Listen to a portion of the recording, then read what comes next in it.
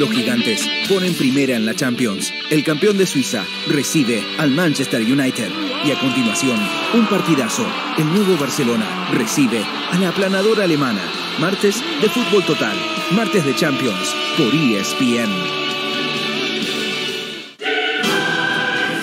Presentado por Enjoy Responsibly y Pepsi, patrocinadores oficiales de la UEFA Champions League.